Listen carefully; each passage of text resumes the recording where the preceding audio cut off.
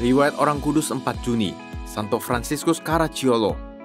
Franciscus dilahirkan di daerah Abruzzi, Italia pada tanggal 13 Oktober 1563. Ayahnya seorang pangeran Neapolitan.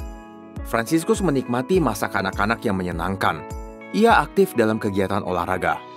Kemudian ketika usianya 22 tahun, suatu penyakit sejenis penyakit kusta menyerangnya hingga hampir membawa kematian. Pada waktu sakit, Franciscus memikirkan hampanya kesenangan-kesenangan duniawi. Ia menjadi sadar bahwa kebahagiaan sejati hanya dapat ditemukan dalam sesuatu yang lebih mendalam.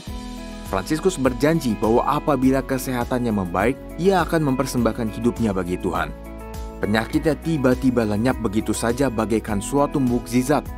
Kemudian Franciscus menepati janjinya dan mulai belajar untuk menjadi seorang imam.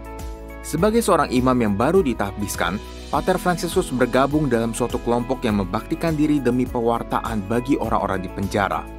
Mereka memberikan perhatian pada para narapidana serta mempersiapkan para hukuman agar dapat meninggal dengan baik. Ia bersama Pater Yohanes Agustinus Adorno membentuk suatu kongregasi religius. Ketika Pater Adorno wafat, Franciscus dipilih menjadi pemimpin biara. Ia sama sekali tidak merasa nyaman dengan jabatan barunya itu. Santo Franciscus demikian rendah hati hingga ia menandatangani surat-suratnya dengan Franciscus orang berdosa. Ia juga mendapatkan giliran menyapu lantai, membersihkan tempat tidur, dan mencuci piring bersama dengan para imam yang lain. Pater Franciscus acap kali melewatkan nyaris sepanjang malam dengan berdoa di gereja. Ia menghendaki agar semua imam melewatkan sekurang-kurangnya satu jam setiap hari di hadapan sakramen Maha Kudus.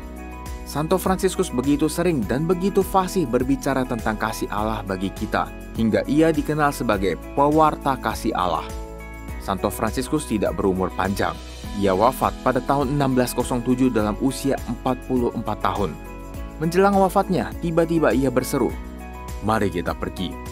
Ke manakah engkau hendak pergi? Tanya imam yang berada di sisi pembaringannya. Ke surga, ke surga, Demikian jawabnya dengan suara tegas serta penuh sukacita. Beberapa saat kemudian ia pun wafat. Santo Franciscus Caracciolo dinyatakan kudus oleh Paus Pius VII pada tahun 1807.